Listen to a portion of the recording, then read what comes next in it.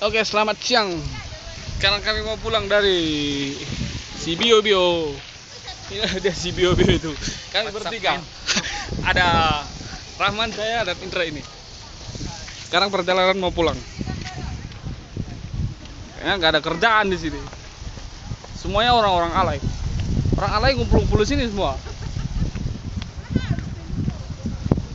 Nah perjalanan kami pulang. Nah dia si Bio Bio katanya lagi ngetrap media sosial.